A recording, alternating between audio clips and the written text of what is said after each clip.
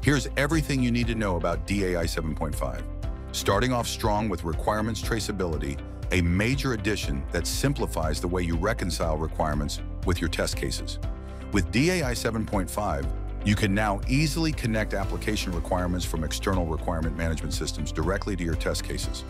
This means you can provide clear evidence that all contractual and compliance-related requirements have been met and tested.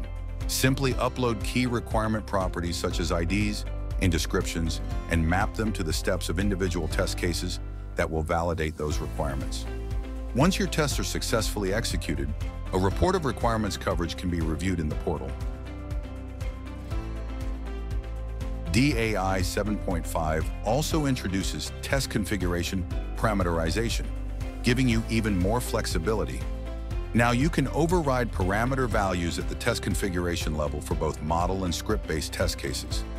This allows you to drive alternative application behavior without the need to duplicate test configurations, ultimately reducing your maintenance overhead.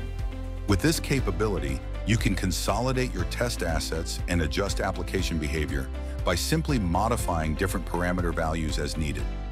Additionally, DAI 7.5 supports parameter value overrides for CI-CD integrations via the Eggplant runner, as well as Azure DevOps, GitHub, and Jenkins.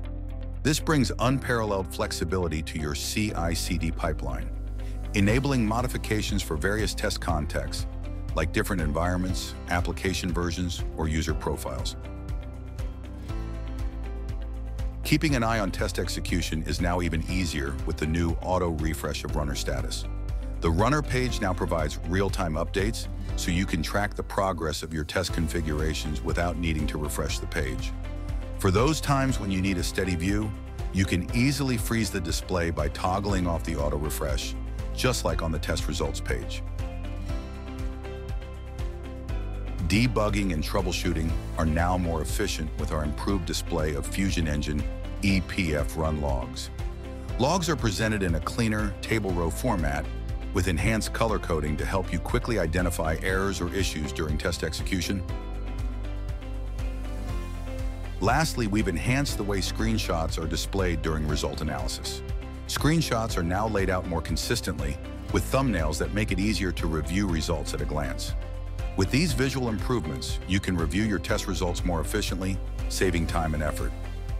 DAI 7.5 delivers new levels of traceability, flexibility, and user experience improvements. Upgrade now to take full advantage of these features and streamline your testing processes today.